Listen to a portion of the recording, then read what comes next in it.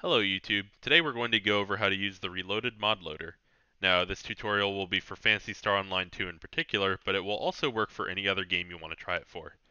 So let's go ahead and download that here. I already have all this downloaded, but I have all these links in the description. So you have this here. If you're doing PSO2 in particular, you'll want to go ahead and download this environment set.zip. That's very important. Go ahead and get the mods you want. Now, in the future, most mods should show up with this one-click install here, but even so, you'll need to have Reloaded actually set up for that game to use that. Anyways, if you're doing PSO2 in particular, run this environment set.bat, and what that does is set a little flag for your system. You'll need to restart your system before that actually works, but that makes it so that PSO2 can run through Reloaded. Now, we've got that done with. Let's go ahead and open Reloaded.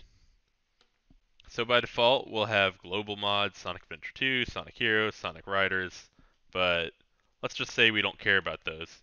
Either way, we'll have to go to manage and we'll have to set them up. So let's make a new game. Let's just call it PSO2. That's bugged right now. Hopefully in the future the author will fix that. And I believe this is bug 2, yep.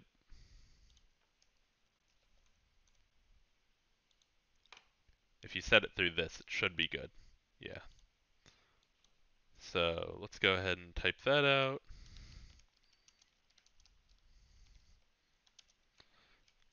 And my path for the exe will be over here. It probably won't be for everyone, but this is where I put it. Once you've got that done, for most games you can go ahead and save. For PSO2, we're going to add one more thing.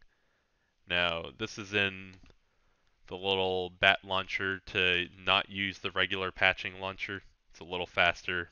Modders kind of need it anyway. But for PSO2, we just take that little thing, set that there, and then save. Now we've got Phantasy Star Online 2 set up. Uh-oh, we don't have mods. Let's fix that. So what we're going to do for that one is we're going to go over here. You'll just kind of go into your name and then go to app data roaming, blah, blah, blah. This is your mods folder. So let's go ahead and drag some stuff in there.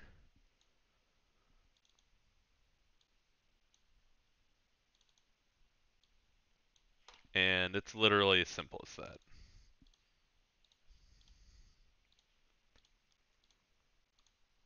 And voila. Now we have all these things here. So let's go ahead and turn those on.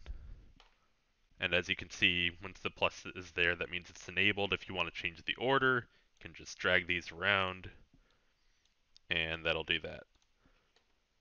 So for these mods in particular, you can go and configure something here. Not all games have this, but you can go ahead and set some buttons. I already have, but if you want to do that, you can go ahead just by double clicking it and then setting something.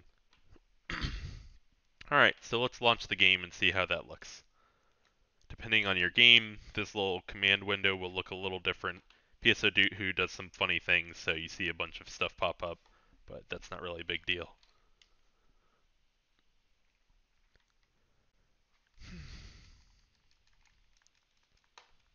Once you've set that up, by the way, you can go ahead and exit this, minimize it, whatever you want to do.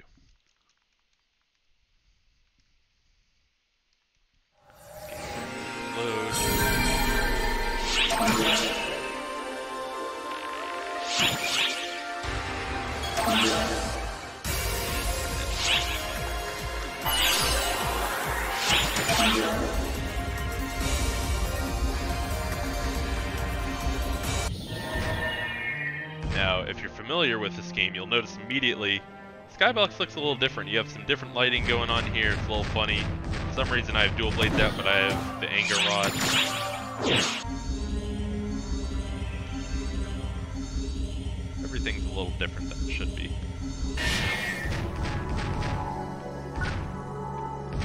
As you can see, that works, and whenever I change weapons, like the mod said, there's a randomness.